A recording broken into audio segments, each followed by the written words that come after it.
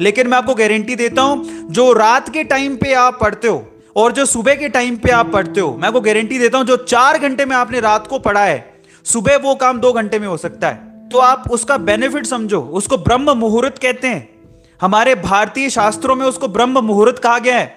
सबसे बड़ी इंपॉर्टेंट चीज़ बताता हूँ, सुबह चार बजे बहुत सारे देवी देवता विचरण करते हैं, बहुत अच्छी हवा चलती है फुल ऑफ़ ऑक्सीजन होती है। इतनी फ्रेश हवा आपको पूरे दिन में कभी नहीं मिलेगी। अब आप लोग कहेंगे, सर, ये क्या बातें कर रहे हो? आप साइंस के जमाने में देवी देवताओं की बातें कर रहे हो? साइंस भी मानता है इस चीज़ को। इस चीज़ को समझिए। जो प्योर सोल्स होती हैं, वो सुबह चार बजे से पाँच बजे तक। You know let me clear you अगर आप जाग रहे हो उस टाइम पे सो वो प्योर सोल्स आपको सपोर्ट करती हैं।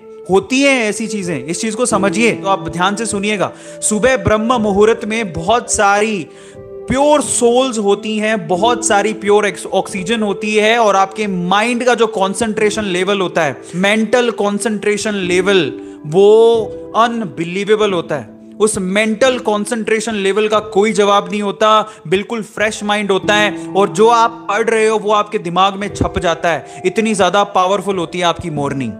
तो आप इस चीज़ को समझो, सुबह का फ़ायदा उठाओ।